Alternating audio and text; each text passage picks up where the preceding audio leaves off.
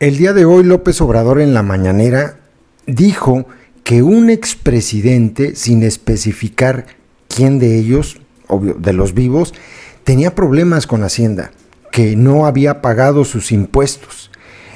Hace un rato empezaron a compartir mm, notas relacionadas con este asunto y parece ser que Reforma se indignó, porque dicen que la información no es de López Obrador, es de ellos. En, sin embargo, publicaron una nota en relación a esto y le pusieron por título El expresidente de México que no paga sus impuestos es Vicente Fox. Lo dijo Reforma, no AMLO. Y dice la nota de, sin embargo, después de que durante su conferencia de prensa el, expresidente, el presidente perdón, Andrés Manuel López Obrador anunciara que uno de los expresidentes del país no está al corriente con el pago con sus impuestos, con sus impuestos, así dice, ¿eh? el diario Reforma reveló que se trata de Vicente Fox. El diario Reforma reveló el nombre del expresidente de México que no está al corriente con el pago de sus impuestos. Se trata de Vicente Fox Quesada. Esta mañana, López Obrador reveló que uno de los exmandatarios mexicanos es investigado por el Servicio de Administración Tributaria, el SAT, por no estar al corriente con el pago de sus impuestos, aunque no reveló el nombre. Y se abren comillas de lo que dijo López Obrador. Según la información, algunos de los expresidentes deben impuestos, así dijo algunos. Pero eso es un asunto que tiene que ver con el SAT apuntó el presidente en la conferencia matutina en el Palacio Nacional. Fox gobernó del año 2000 al 2006. Estaría en la mira fiscal de nuevo, eh, tras descubrir que hay poca información de condonaciones fiscales durante su sexenio. Las deudas de Fox corresponderían a deudas de empresas en las que participa y que fueron condonadas durante las administraciones de Calderón y de Enrique Peña Nieto, según lo que dice el diario Reforma. Además, el diario indica que tres de las compañías de Fox fueron rescatadas por el Fobaproa. Este dato tampoco lo sabíamos. Interesante, Reforma lo que dice, ¿no? Ya ven que eran tan exigentes, dijo López Obrador hoy en la mañana, ¿De qué vive el opositor este AMLO? Y si paga impuestos. Y luego dice, he estado al corriente siempre manifestando mis impuestos, que por cierto no es poco el descuento, sobre todo lo que tiene que ver con los libros, que era uno de mis principales ingresos durante mucho tiempo. Ahora el SAT está evitando evasión de impuestos, señaló el presidente. Y aquí vamos a hacer un paréntesis, porque de verdad, en un país donde no se lee, eh, con lo que ganan los, los escritores por publicar libros, ganan muy poquito por cada libro.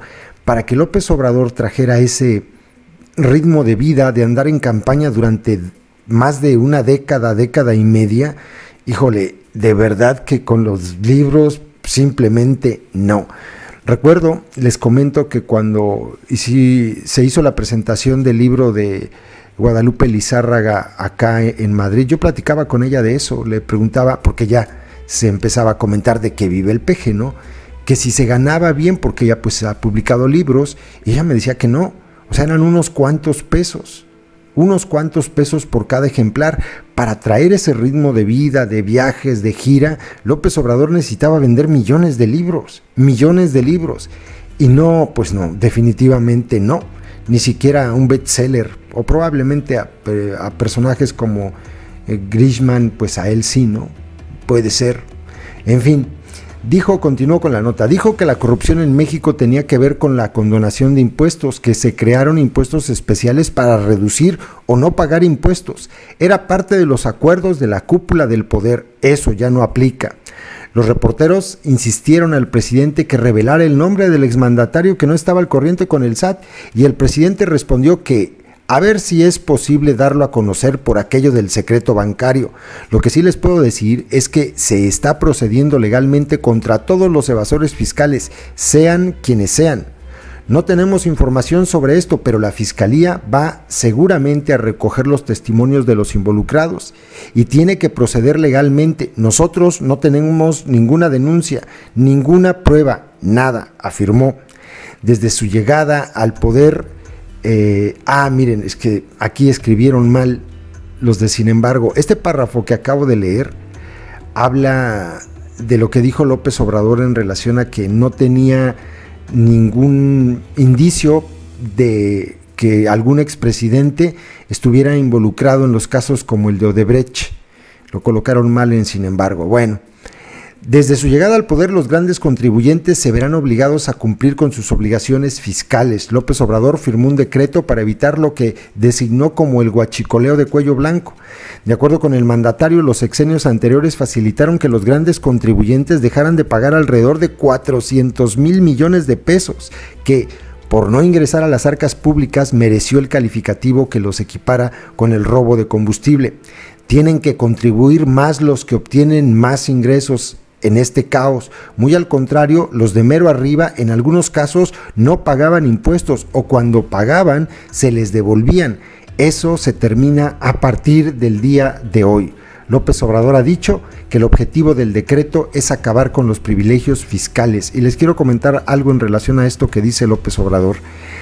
Eh, pueden buscarlo, desgraciadamente me acabo de acordar cuando lo leí, en el Twitter de ONEA, pueden ustedes localizar un video que acaban de subir donde se habla de Ricardo Salinas Pliego, que obviamente, pues muy amigo de López Obrador, seguramente no va a ser tocado, pero habla de cómo utiliza sus supuestas fundaciones o sus supuestas orquestas para que después de ello, después de armarlas, después de su show que hace él, eh, le, le impuestos.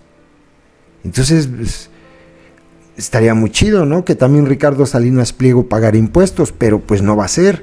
Ha sido muy vivo, bastante vivo en el sexenio del delincuente, eh, pues desde, yo creo que desde Fox, Calderón, Peña Nieto, se ha arrimado, siempre se ha arrimado y siempre sale beneficiado. No, me van a decir que no. Pero bueno, ahí está, ya se sabe quién es el expresidente, es el marihuano de Vicente Fox que debe impuestos y pues en realidad yo creo que todos, simplemente todos, Calderón, eh, Peña Nieto, todos ellos, que iban a pagar impuestos, por favor. Eso de pagar impuestos es de pobres, solo los pobres pagan impuestos. Ahí se los dejo. Saludos.